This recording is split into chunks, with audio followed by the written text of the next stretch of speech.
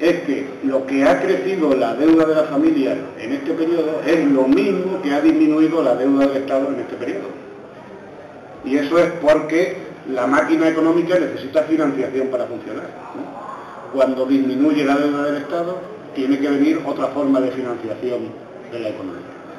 El capital ficticio, que representan nuestras hipotecas, las que tenemos sobre nuestra vivienda, la suerte de, tener una hipoteca, algunos no tienen ni siquiera esa suerte, es un derecho del capital financiero sobre nuestros salarios futuros.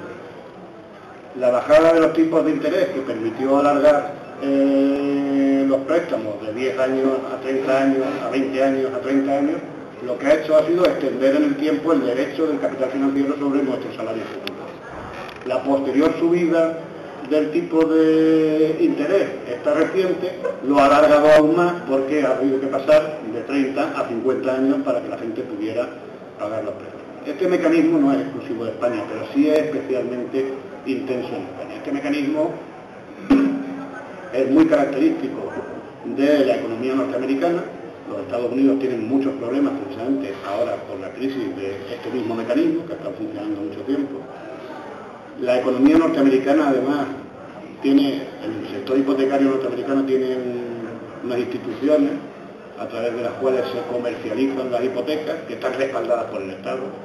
Son empresas públicas, financieras, para entenderlo, las que venden esas hipotecas, incluso esas suprimen las hipotecas eh, malas que están en el fondo de la, creación de, los problemas estos recientes.